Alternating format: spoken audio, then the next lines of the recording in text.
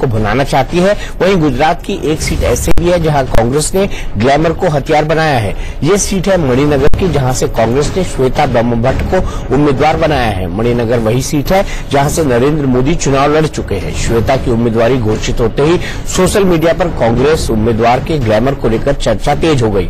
हालाँकि श्वेता का कहना है कि उनका ग्लैमर की दुनिया से कोई लेना देना नहीं है। लोग अक्सर उन्हें मॉडल समझ लेते हैं, लेकिन वो एक मैनेजिंग कंसल्टेंट है। चौतीस साल की श्वेता ब्रह्मभट्ट ने मैनेजमेंट की पढ़ाई की है और सामाजिक कार्यकर्ता भी है। उनके पति नरेंद्र ब्रह्मभट्ट कांग्रेस के नेता हैं। श्वेता के मुताबिक उनका मकसद बीजेपी को हराना नहीं, बल्कि नेताओं को लेकर लोगों की छवि को बदलना है।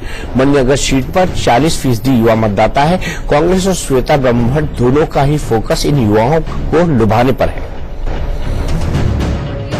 विचारों में होनी चाहिए, ना कि उसके बाहरी रूप में।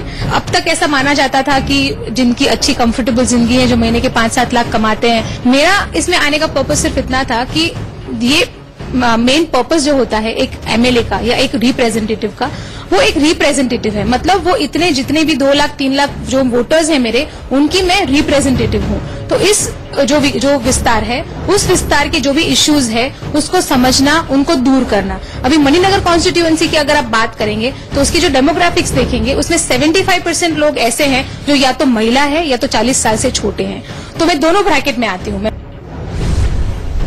श्वेता ब्रह्मभट्ट का फोकस जहाँ युवा वोटरों पर है, वहीं कांग्रेस का ध्यान गुजरात की 48 फ़ीसदी महिला वोटों पर है। इन्हें अपने पाले में लाने के लिए कांग्रेस ने महिला कांग्रेस अध्यक्ष सुष्मिता देव, सांसद कुमारी शैलजा और कांग्रेस के कम्युनिकेशन डिपार्टमेंट की कन्वीनर प्रियंका चतुर्वेदी को मैदान में उतार दिया है। कांग्रेस की महिला नेता महिला संवाद के नाम से कार्यक्रम चला रही है। इन कार्यक्रमों में गुजराती अस्मिता और उसके लिए महिलाओं को उनका हक दिलाने के मुद्दे छाये रहते हैं। महिला संवाद कार्यक्रम सूरत, वडोदरा, अहमदाबाद और राजकोट में आयोजित किए जा रहे हैं। कांग्रेस महिलाओं को अपने